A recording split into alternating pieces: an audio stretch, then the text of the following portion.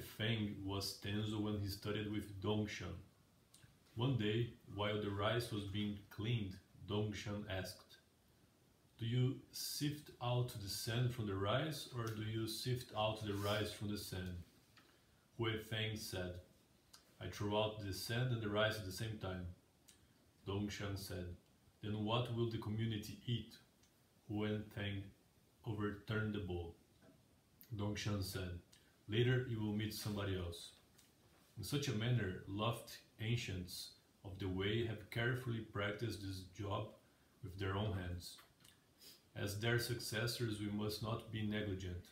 It has been said that for the tenzo, rolling up the sleeves is the mind of the way. If you have made a mistake cleaning the rice and sand, correct it by your, yourself.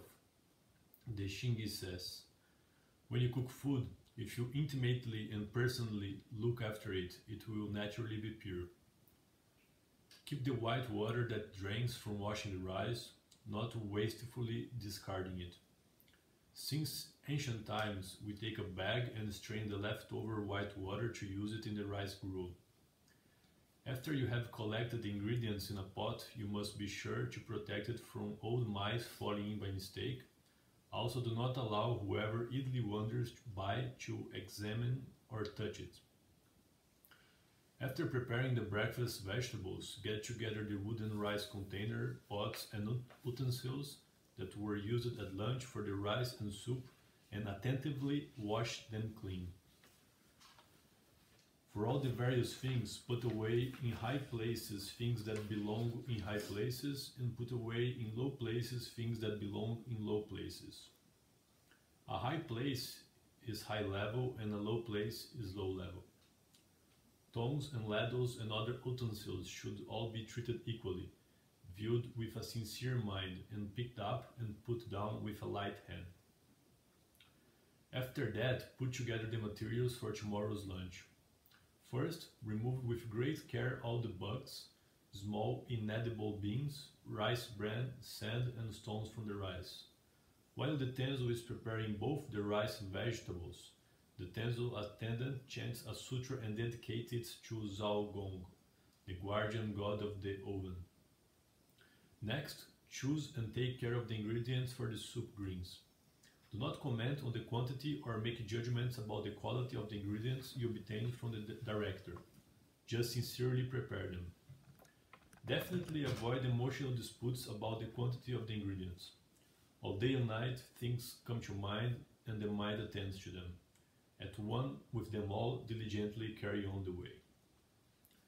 Juotsan, could you please read the Japanese version?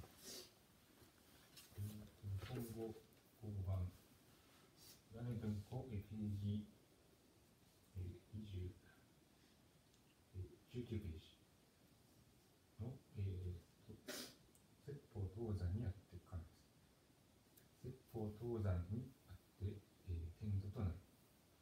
一律米を、えー、夜継いで東山とる。砂を揺り去って、えー、米か、米を揺り去って砂か。法曰く、サベ記事に去る。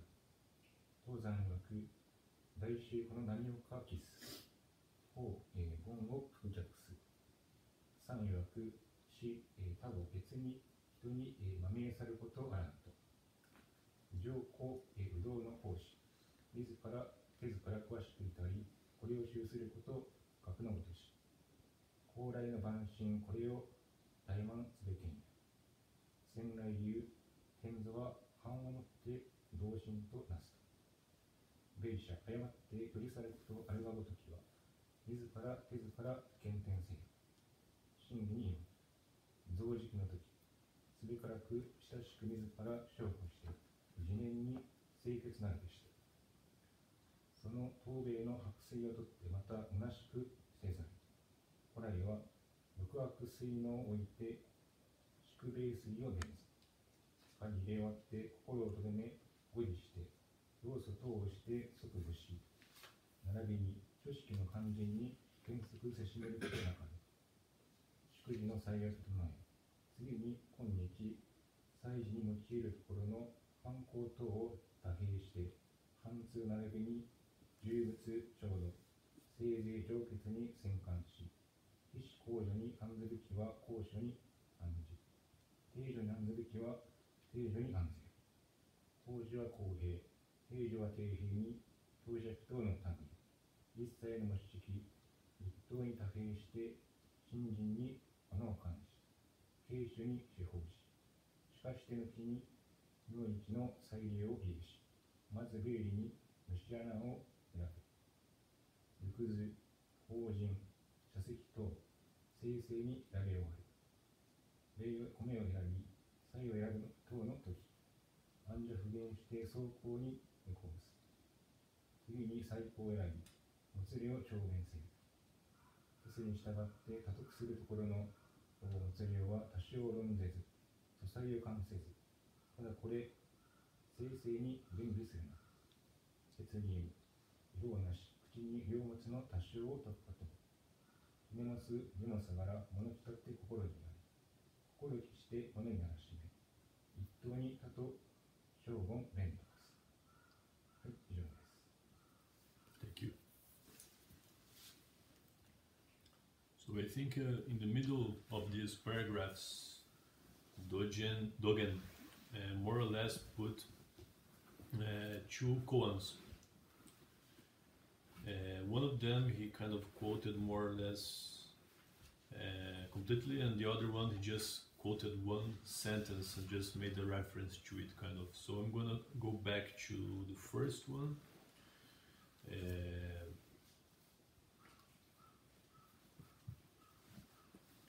which is about uh, Feng and Dongshan.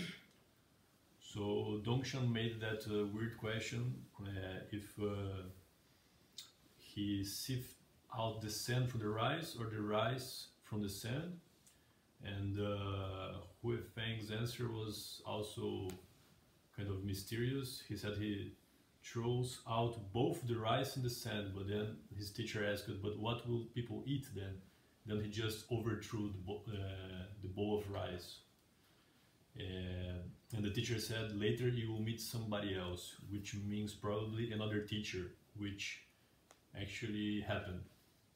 And in the other place of uh, uh, where, where there is another koan or a reference to it, uh, it's where Dogen uh, says here between quotation marks, a high place is high level and a low place is low level. And if you go to the to the footnotes, there is a small explanation here uh, quoting the whole story where Dogen got this from. Uh, the quotation mark on page 51 is like this. This quote refers to a story about Guishan and his student Yangshan Huiji, founders of the Guiyang lineage. Yangshan was digging on a hillside to make a rice paddy. Yangshan said, This place is so low, that place is so high. Guishan said, Water makes things equal. Why don't you level it with water? Yangshan said, Water is not reliable, teacher. A high place is high level. A low place is low level. So this is the the second quotation. And actually, maybe Dogen just quoted these koans in this part more as a little illustration. Maybe also it's not even the main thing that he wanted to say. I think he also used these examples just to show that the ancient teachers who were uh, quoted in the koans, they were tenzos and they were like actually uh, working with their own hands. That was the first case of the the guy who was washing the rice.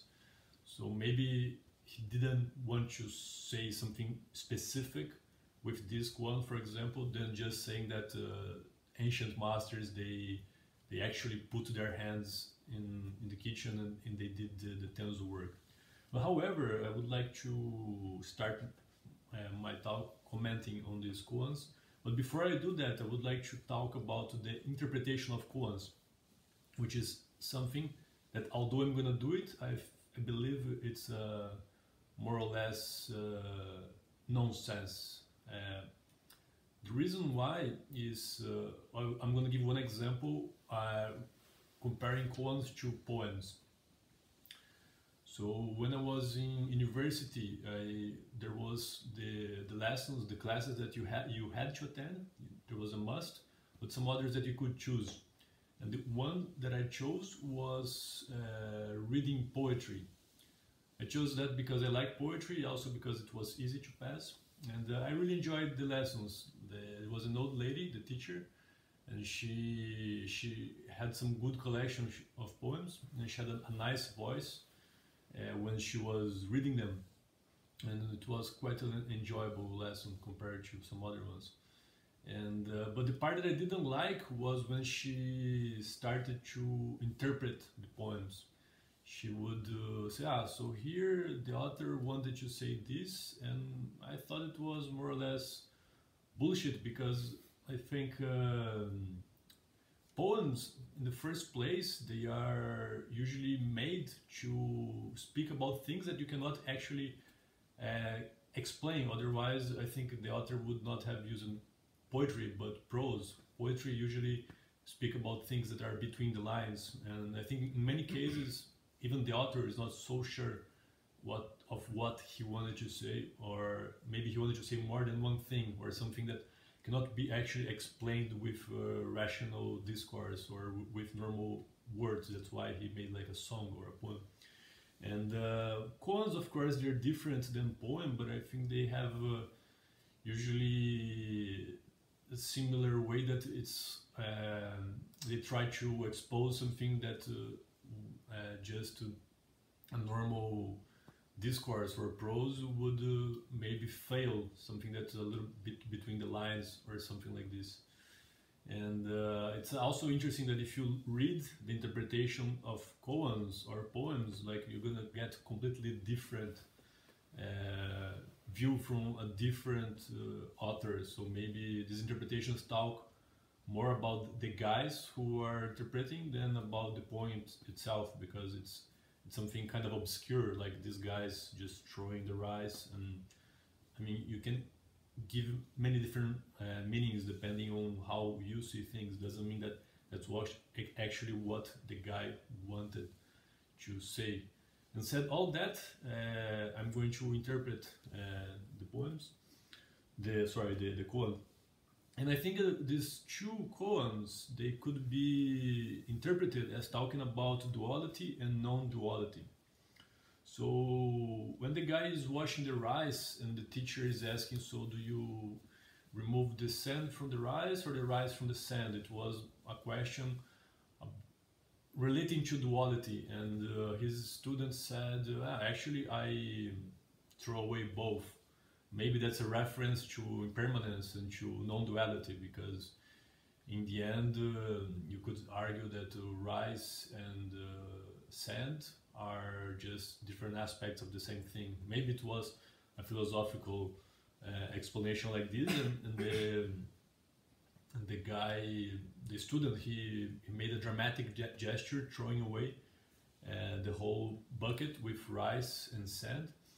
And uh, and water so maybe trying to show impermanence or non-duality or something like this. And the second uh, koan I think uh, it's also related to something like that.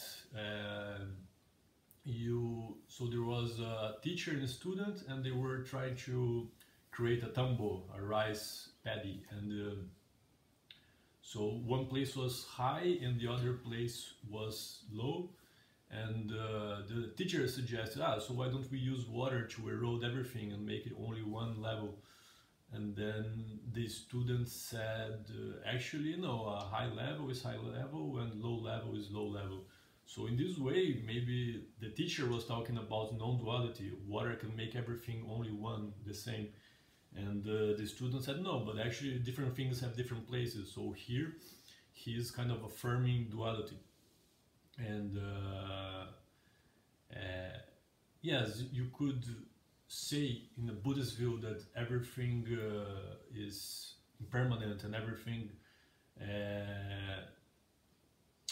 is equal in a way, everything is one, but also in my Tenzo training, for example, I was taught that you should not put knives uh, drying where we put the deposit to dry because knives can fall and can hurt people. So even though there is this view that uh, everything is one, but also we live in a world of, although there is the absolute, we live in a world of relative things. So in this world of relative things, to survive, we need to know that a high, a high thing be belongs to a high place and a low thing belongs to a low place. In this case, it was just the knife.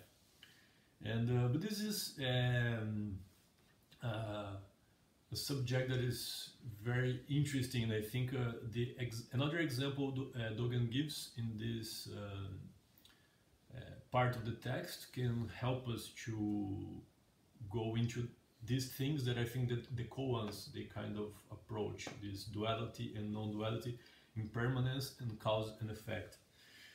And so at one point Dogen says that, that nothing should be wasted. So even the rice water that we use should be kept to make the rice gruel. And, and in the in the text that Shogaku-san read yesterday, uh, in the version of this translation here, it's not said like that. Uh, it, it's translated in a different way. But if you read the translation by Tom Wright in the How to Cook Your Life, the book with the commentary by Uchiyama, in the, the previous paragraph he says that uh, not a single grain of rice should be wasted when the, the tenzo is cooking. So I would like to get into that. In Antaiji, we also have this uh, very, very strong. Uh, we learned that uh, we shouldn't waste a single grain of rice. Docho-san was speaking a few days ago about to, uh, he always speaks after session about how Dogen in this text also in a different moment says you should see the one grain of rice and cut in half and stuff like that. So, so there is all this talk in, in these uh, previous paragraphs about not wasting things. That re reminds me another uh, episode that I, I experienced. So in my previous Rinko, I, I told you guys about one time that I was camping alone uh, for a few weeks on an island. And uh, on that time I had uh, rice, brown rice, lentils, uh, olive oil, garlic, onion, and that's what that was more or less my food for three weeks. I also had some chocolate and peanuts, but I, I finished them in the first days.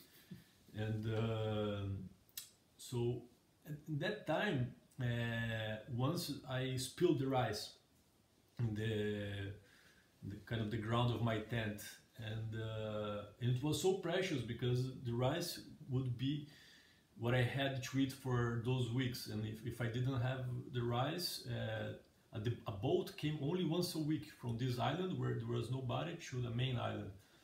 So if my rice finished before the boat came, and if there was a bad weather, the boat wouldn't come, and I, I didn't I didn't have uh, I had 10 euros or something like this, and uh, so for the first time I, I saw how important uh, a grain of rice is and that reminded me of one experience in my childhood. I was with my grandfather in the supermarket and he was, uh, we were buying rice and he got the bag and the bag broke and it was full of rice on the ground of the supermarket. And my grandfather, he collected every grain and I don't know if he took home or he, for some reason he collected everything and I was very embarrassed. I was like a child, and my grandfather was just in the middle of the supermarket, like sitting on the ground and collecting all the the, the grains of rice. At that time, I was uh, kind of embarrassed. I was a, a teenager, and uh, but when I was there in the tent, I understood uh, my grandfather for the first time. That experience immediately came to my mind, and I was there in the tent, and I was uh, running out of money. I, had a job that would start in one month, but still, like if I had an emergency, I could call my family. I, am sure they could uh, help me if there was some kind of emergency, which didn't have. But my grandfather, when he was um, a child, he was the older brother of uh, a family of I think 10 kids or 11 kids. And uh, at that time, maybe his father was already dead and his mother was sick and he had to feed everybody. And he told me that he actually had uh, moments where they didn't have what to eat. And, uh, and so for him, one grain of rice is was something really serious, really important. But for me, it wasn't until I had that experience, but it still was much lighter in my case than it was for him. Um, so I think this is one example of uh, cause and effect. Uh, the I think his experience of taking care of the rice was because he was aware of uh, the law of cause and effect that if you don't take care and or sometimes even it's not uh, on on your reach you can starve and um, you can yeah you can go through a lot of hardship because yeah not having food is really really difficult. However um, many of us here have not experienced that and right now in Antaiji we have uh, a lot of rice even more than we can eat. So even Sebastian was able to make uh, some sake doburoku for the first time last year. But uh, I'll go back to that later. I would li like to give another example that uh, I think is related to this about I think this thing of not wasting is very big in Zen. Like we we clean our dishes until the last uh, drop uh, with the, the tsukemono, the pickles. And uh, so yeah it, it, caught my attention the first time I went to a session. And there was already this thing you had to clean completely, not no waste. Even uh, I remember the first place where I practiced, somebody was doing kinhin and like going, making a circle, not using the whole space. And the person said some in charge said something that you should not waste that space. You should use everything that you have. So you, you should have to make to make a, a 90 degrees angle. And so this is very strong in Zen. And uh, another example is uh, last year I was reading this book called uh, Shine One Corner of the World. It's um, so this guy, disciple of uh, the, the Zen teacher Shunryu Suzuki, he decided to write a biography about Suzuki. So he, he interviewed tens of people about uh, his, Suzuki's life and uh, the leftovers uh, of the stories that wouldn't go into the biography, he, he wrote this small book which I was reading called uh, How to no, uh, Shine One Corner of the World. And uh, there are many funny, interesting, very short, small stories. And I was reading this book during five day session in the, the breaks last year and there was one story that was also very related to this, and uh, uh, it's more or less the following.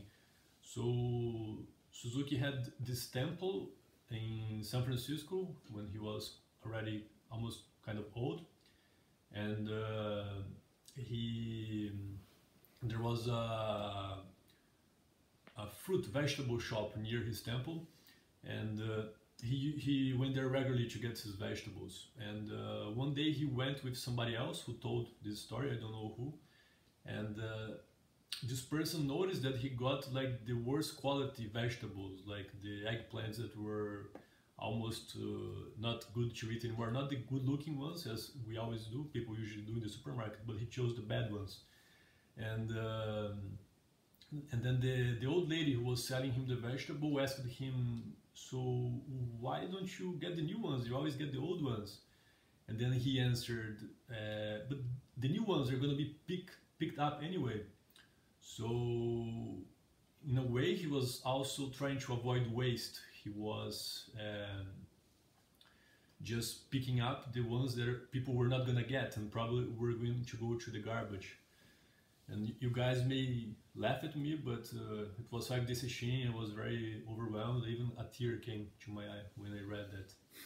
But uh, also, I think this passage uh, speaks a lot about uh, when Uchiyama Roshi comments on the on this uh, the Tenzo Kyokun. He talks about the, the three minds and the parental mind that's taking care of everything you encounter. So I think when you take care of a grain of rice, you also take care of everything that you're dealing with because it's a part of your life.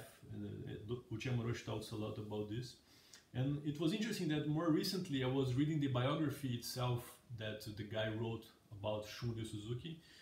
And uh, in the biography, I, it's you, you, get to understand this behavior by Shunryu Suzuki, knowing more about his life. So when he was a kid, his father was uh, also uh, a Soto Zen priest, and he was from the first generation after the Meiji restoration of the priests who could marry and have children. And in the Meiji restoration, uh, the, the Buddhists were kind of persecuted and lost a lot of their privileges. So Suzuki's father, he was more or less poor, and uh, so they lived near a river, and from the river, some rotten vegetables would come uh, from other farms that people just threw away. And his father would get these vegetables, and he would uh, cut away the rotten parts and maybe boil them. So when they were more or less rotten, they would eat them anyway. And uh, his father would say, "Oh, they all have Buddha nature. We we should eat them." And uh, so yeah, I think this experience also is another example, uh, and it made me understand the first story that I said. And so I think, uh, in a way, his father was talking about Buddha nature, which is not necessarily related to cause and effect, but I think uh, all of these are in a way related to cause and effect. Because if we don't take care uh, we of the food we have we might starve. But not only that there is uh, we have the the chanting before lunch. Uh, are we uh, we deserve this food. And what about the, all the workers and people that uh, made this possible? So when maybe you are picking uh, your vegetable in the supermarket and there are you know there are so many others that are gonna just get rotten and gonna be thrown away. You could think if you really want to go deep into cause and effect all that happened for that vegetable to be there maybe a forest was cut down uh, workers were working in the sun we Antaiji here we we know how we work hard for the vegetables so when you were tenzo maybe sometimes even if you think there's more vegetable than you can, you can use uh, you should uh, try to think that uh, you can do the best of it because it's uh, so many work, so many sacrifices, so many beings were involved in this. And okay, this is one side. This is the side of uh, cause and effect. And uh, but I would like to go to another side, which is the side of impermanence and uh, uh, emptiness, which is also very interesting and for that, I would like to read uh, another story with also Guishan, like, uh, but from a different koan. And this one is uh, uh, in a different book. It's in the teachings of Homeless Kodo, and who is talking about this story here is Shohaku Okumura.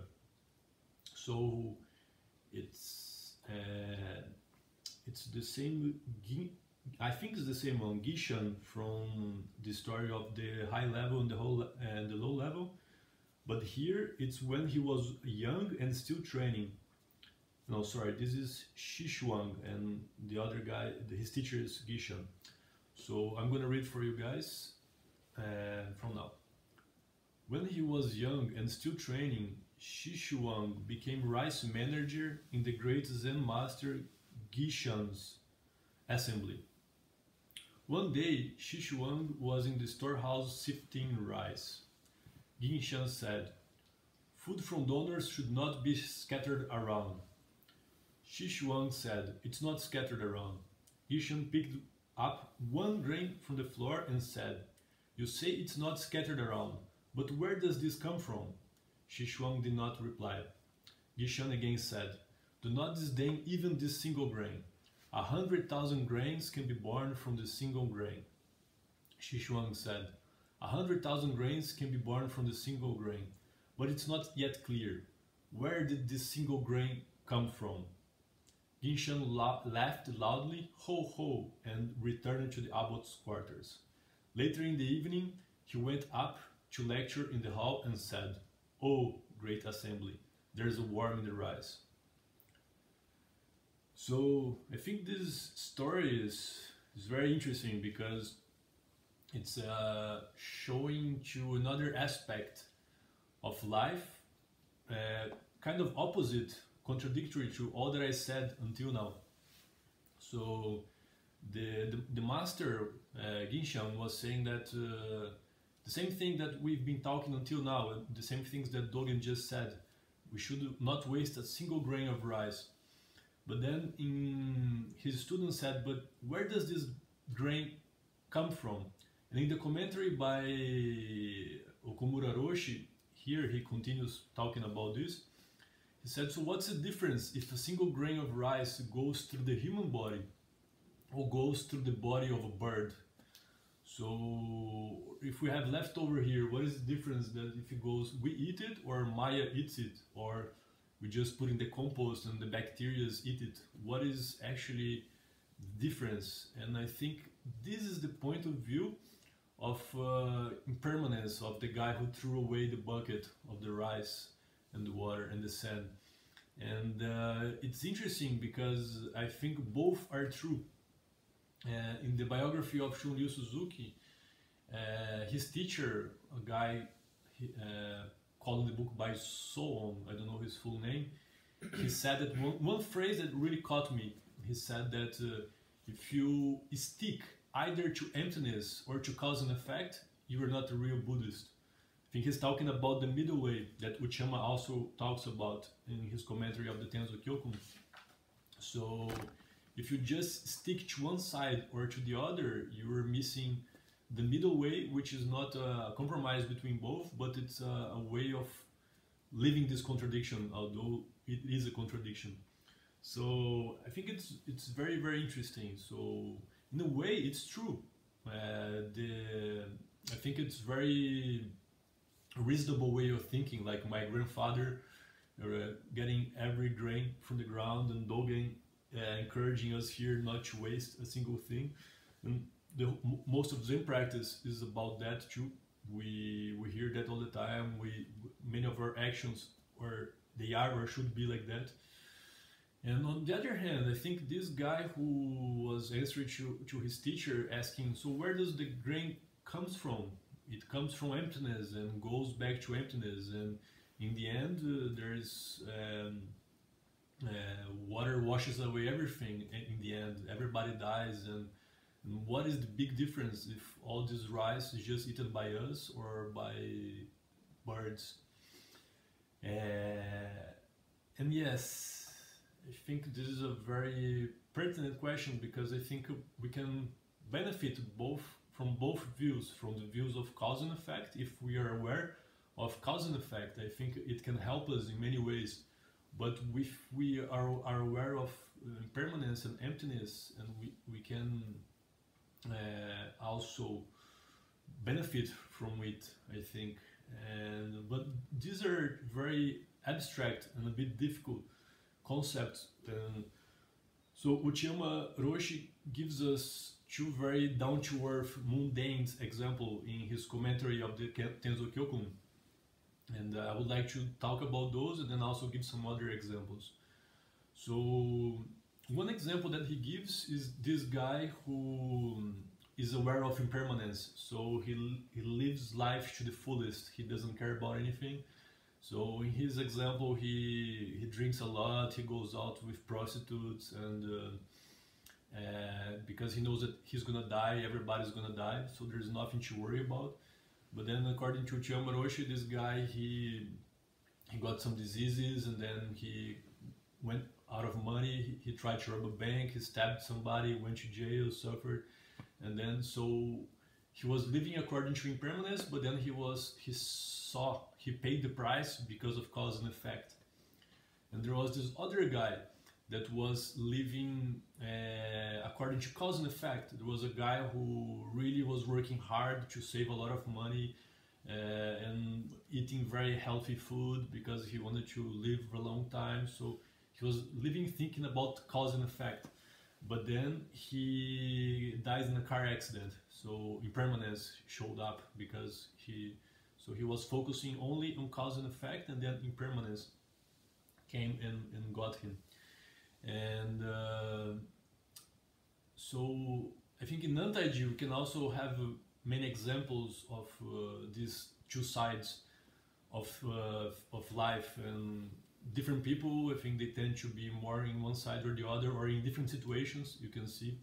So one example uh, so Shoko Mumio, he, uh, as everybody know, he's, he takes a lot of care of the Zen garden, and uh, uh, he usually when he leaves, he when he's here, he he likes to to work with some usually some German guys because of the he can communicate better with the language, and he usually leaves some kind of German guardians of the Zen garden when he leaves. So so they watch, then they know what to do and how to keep it. And uh, so I, I saw him speaking a lot with uh, Tenkyo when before he left last time, and he was explaining everything how things should be done, things that should be taken care of, and uh, yeah, I just noticed it. And uh, okay, so Mumio left, and uh, I think it was a few weeks later, me and Tenkyo we were uh, putting uh, the wood for the winter behind the library and uh, we were just stocking up the wood. We came with some cart and we had to more or less go through the Zen garden. And uh, there were there are those blue stones that Shoko spent a long time uh, washing, and uh, he was very angry at everybody, saying that we should not step on the blue stones, and because they are not a path, they are kind of a, statics thing. And uh, so I was there with Tenkyo, and then Tenkyo with his dirty working boots, he was just stepping on the blue stones. and I asked, do you realize that those are the stones that Shoko was telling you, they're so important? I said, ah man, they're just stones. and I, was, I couldn't help but laugh really hard because uh, it was so funny. Shoko was so... Uh, taking care of the stones and so angry when somebody stepped on them. Once there was a little mound of stones he made and there was a step right in the middle. he, went, he went crazy. and, and, then Tenkyo like in a very natural, spontaneous, yeah man, just stones. and, uh, and for me, I think this is a very good example of uh, cause and effect and impermanence, like two different views. So uh, Shoko, he was taking care of it because he um, he was asked by Docho-san several years ago to take to create a Zen garden, and he, he studied. He spent many hours doing it. He invested money. Other money from Antaiji was donated, and people spent many hours working there. So you know, I think Shoko was right. Like he he was right to to be protective about this because it's his work. But in the same way, Tenkyo was also right. It's just stones, and. Uh, but in a way, there are stones that were, if you think about cause and effect, uh, I, I, lived in a place in Brazil where there was a little mountain and, and, they were using dynamite to like basically eat up the mountain to get stones to I don't know maybe to make Zen gardens someplace as well to build houses. And so maybe if you think about cause and effect these stones they came from donations they maybe destroyed the mountain they killed birds and maybe a worker lost an arm. So you never know, cause and effect. And Shoko spent so much so much time, but at the same time, Tenkyo is also right because we should not worry so much about anything because everything comes and goes, and one day uh, these stones will become some other. Time will pass and they will get scattered and they become part of the soil. So I think uh, uh, we tend always as human beings to go to one side or to the other, and uh, it's uh, but it's good if you we can always see both, which is the, the very hardest thing. But another example was um, my Tenzo training. When I did my Tenzo training here, uh, I remember that uh, most of the guys they were very scared when they were Tenzos. They were very scared, especially they were frightened of Docho-san.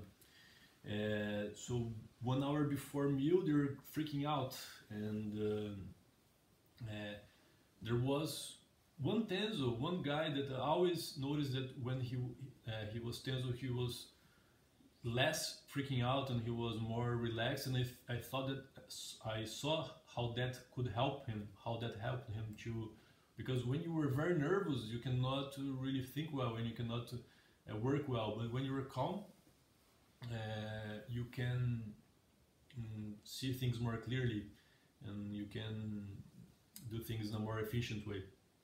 So, uh, so Fumon-san, Fumon-san, he was a guy. If we think about this type of views, he we could say that he was a guy who saw more the side of uh, impermanence or emptiness, and so I think that helped him because he he was less stressed and less worried. That was one part of it, and also because if we stop to think. Um, there was one there's this one Zen teacher in Brazil when he gives talks he usually asks the audience uh, how many of you know knows the name of all your great grandparents and according to him never one person unless this person is a researcher a historian or something like this people know the the name of um, of their ancestors even like two or three generations ago so he's, he does that to show that uh, we are gonna die and we all are gonna be forgotten very soon. So what is that's impermanence and that's uh, the emptiness. We all came from some emptiness and we're gonna all go back to it and nobody's gonna remember us. So what is the the point of worrying so much and having so much fear and, and focusing so much on your personal problems? And I think uh, Buddhism it's uh, is not something from another world. It's something that uh, humans can, what we call the, the noble truths or the the, the, the Buddhist um, the, the the paths, the eightfold path. Many of these things, I think people observing life, observing nature, more or less intuitively, they can see that. So one example, when I was a child, sometimes when I had some problem, if I was sad or something, I could just look in the sky and everything looked so big that uh, all my small human problems seem so insignificant. And uh, I think what this Zen teacher from Brazil is saying is the same. He's trying to show the same thing. Uh, also, when I was a teenager and I wanted to talk with a girl that I liked, was something very hard but I, I tried to convince myself, to give myself courage, thinking that uh, me, her, everybody around, and even the baby who was born at that moment, in 100 years would be dead. So what's the problem of uh, worrying? And I don't know, maybe Docho-san, he, he wrote several books and he's part of a lineage that is recognized. So maybe he will be remembered for a few generations Shogaku-san, uh, he hasn't written anything yet, but in the case he comes to write a book, maybe the new Shobogenzo, in that case Shogaku-san would be known maybe for 1000 years. but even Docho-san and even Shogaku-san, after 1000 years, uh, everybody would be forgotten because there's a poem that I like a lot uh, for Portuguese uh, writer. He says something about even the language that the poem is being written and uh, is going to become a dead language and the, the human race is going to disappear and the planet is going to disappear. So why to be so much afraid when you are tenzo and even if Docho-san criticizes you or team meeting or yells at you like uh, everybody's gonna die, and even them are gonna be forgotten one day too. So I think uh, uh, from Fumonsan we had the, I had this I saw this side, a guy that was less worried about uh, and less anxious, and I think that's uh, the side of uh, seeing impermanence. But as in the guy in the example, uh, in the book that uh, uh, Uchiyama Roshi said, if you only aware of impermanence, you're gonna there there's there are chances you're gonna become reckless with other things. So when Fumonsan was the main Tenzo, I think it's hard to think of a worse main Tenzo because things were getting rotten, like uh, the bugs were eating the whole storage room, and um, so I think also that's the reason why Zen sometimes is a little bit uh, military and a little bit uh, going to um, trying to bring us to down to earth and to because Zen has this philosophy behind it. In the Heart Sutra, it's also said that uh, to be aware of impermanence is to have no fear, to be aware that uh, all the the aggregates are empty. empty. It become you you have no fear because there's nothing actually really with substance that can judge you or can harm you and even yourself you don't have a, a substance so but when you have that kind of uh, philosophy behind you it's very easy to get reckless or to get irresponsible and uh, uh, so i think that's why also zen has this kind of uh, approach that tries you to bring to daily life and to things that are very practical. And Docho always tells us that uh, enlightenment is not uh, zazen, but cleaning the tools and, and things like this. So I think that ex- explains how Zen maybe also because it's not only about emptiness, but it's about the middle way. It also tries to bring this side of cause and effect. And um, yeah, I think uh, the opposite of Fumonsan is uh, Ekosan. I think Ekosan is uh, is the champion here of these things, of uh, uh, really not trying to waste things and to trying to do things in, a, in the right way. And um, it's interesting because when you you have different people, you can also learn different things from different people so I tend to be more the lazy side of uh, Fumonsan, like trying to do things the easy way. And then sometimes uh, I remember me and Eko-san had a small argument in December, and she said, "Ah, but if I don't do what I have to do, this place it doesn't have a real practice." So she also brings me a little bit more to the other side. But there's also the, the, the side that if you are too focused on cause and effect, uh, the problem is that it might uh, bring you a lot of stress because so you see cause and effect and uh, and then you don't see much impermanence. And one thing you try to make these circumstances work like shoko for example uh, with the the stones uh, but some things they are beyond your reach. Uh, there are people that are you cannot control. So I think that's also why there was a lot of fights between Eko-san and Fumonsan last year because they represent opposite sides. And um, when you see cause and effect, and you want everything to to be right, but we cannot actually make much because we're very small parts, and other people think and, and work in different way. So I think this view that we, when we try to see both, it's uh, it's the hardest thing, but it's uh, uh it's it's a good uh, good thing to look for to try to to be aware of these two aspects. And um, one another story that I, I think it's uh, interesting that is related to all this it's in the Bible, it's in the New Testament, uh, in the Gospel of Luke. It's a story that I really like, and it's the story of uh, two sisters, Martha and Mary. So Jesus was just uh, walking somewhere with his disciples, and uh, he ha- ha- happened to be hosted and uh, uh, by this family of where there were two sisters in the house. So the gospel goes like this. As Jesus and his disciples were on their way, he came to a village where a woman named Martha opened her home to him. She had a sister called Mary, who sat at the Lord's feet listening to what he said. But Martha was distracted by all the preparations that had to be made. She came to him and asked, Lord, don't you care that my sister has left me to do the work by myself? Tell her to help me. And then Jesus, Martha, Martha, the Lord answered, You are worried and upset about many things, but only one thing is needed.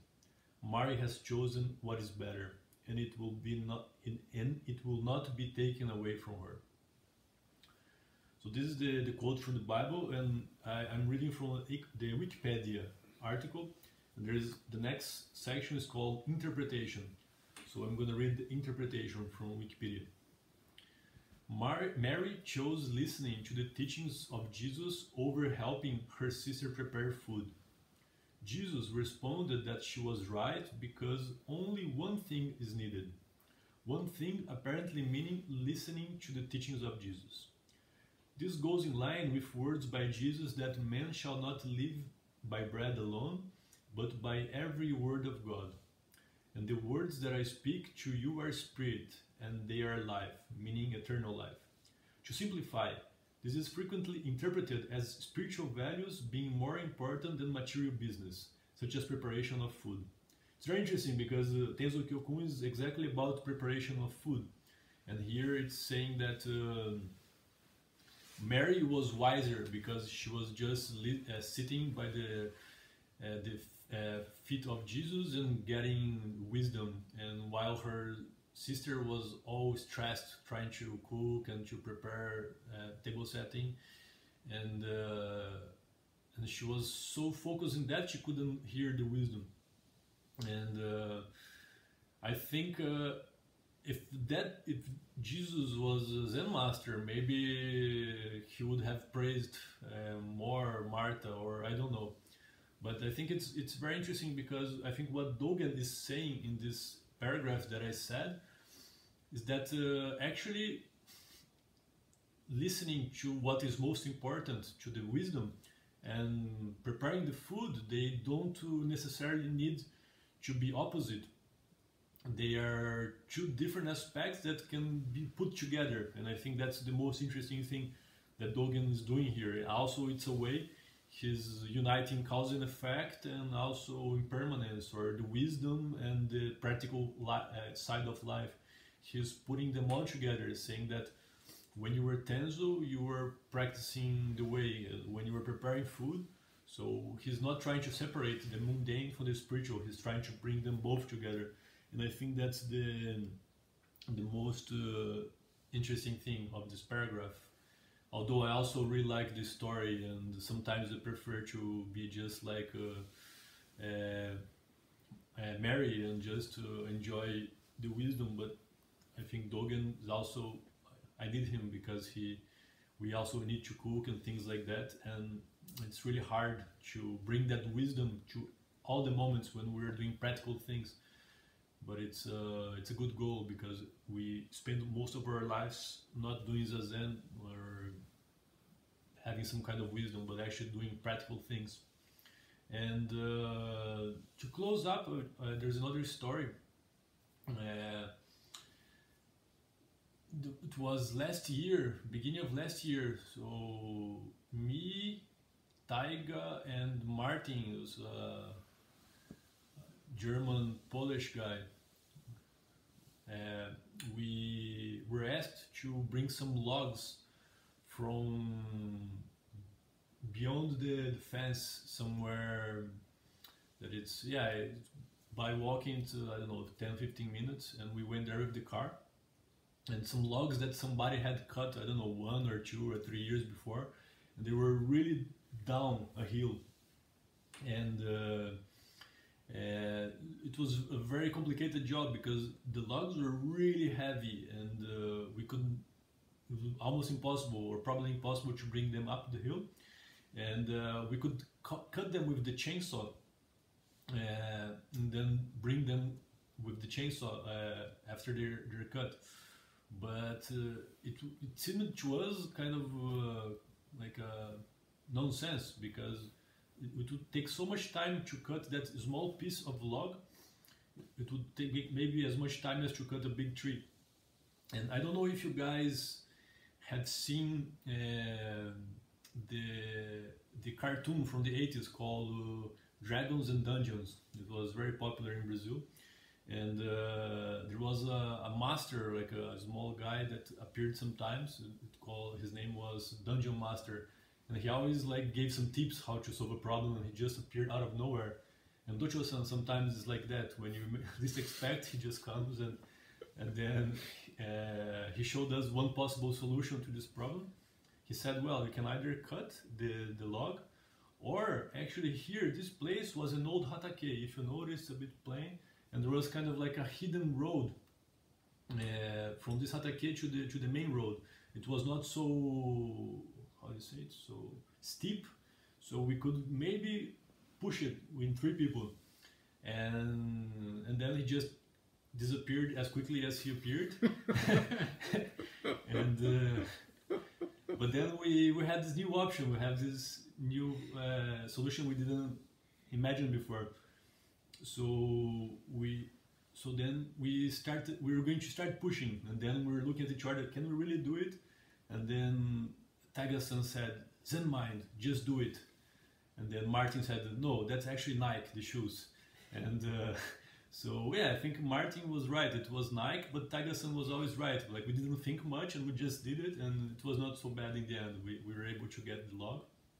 And uh, just to close up I think that uh, so I spoke about many I made many analyses here and also because I have to speak for at least one hour and because I like analyzing things.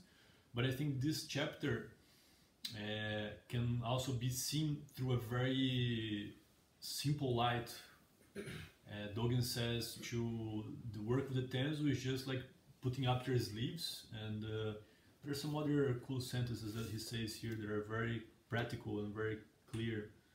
Uh, all day and all night things come to mind and the mind attends to them. At one with them all diligently carry on the way. And uh, also another part, tongues and ladles and other utensils should be all be treated equally, viewed with a sincere mind and picked up and put down with a light hand.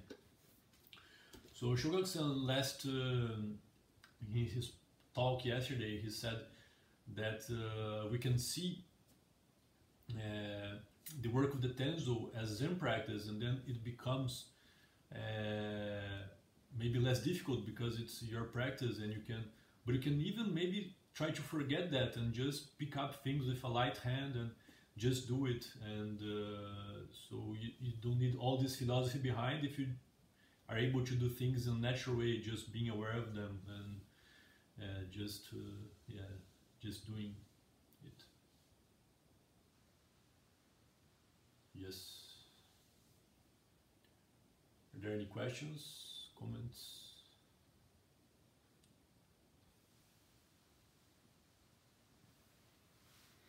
I don't know if you can find it on the internet, but there's a famous mystic who lived about the time in, in of Dogen in Germany, Meister Eckhart in, in German. I don't know how you say in English, maybe Master Eckhart, maybe Meister Eckhart.